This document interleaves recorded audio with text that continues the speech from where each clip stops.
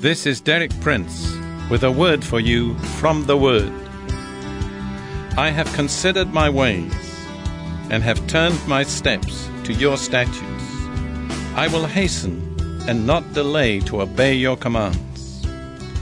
It's important that from time to time, in the midst of life, we pause and consider our ways. Many times the prophets of old challenged God's people to consider their ways. And we need to do the same. We need to ask ourselves from time to time what am I doing? How am I getting on? Am I being successful? Am I finding true satisfaction? Or am I doing a whole lot of things that don't really amount to very much, that don't bring me true satisfaction?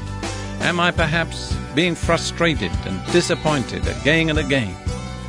When we consider our ways, it may lead us to do what it led the psalmist to do. He said, I have considered my ways and turned my steps to your statutes. He realized that his way was not God's way, that his way was doing him no good. So he decided that he'd turn from his way to God's way. He turned his steps to God's statutes.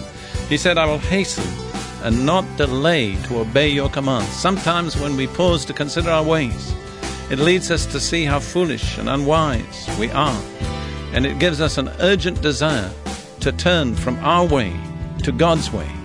We need to say, I will hasten and obey your commands. I will turn my steps to your statutes.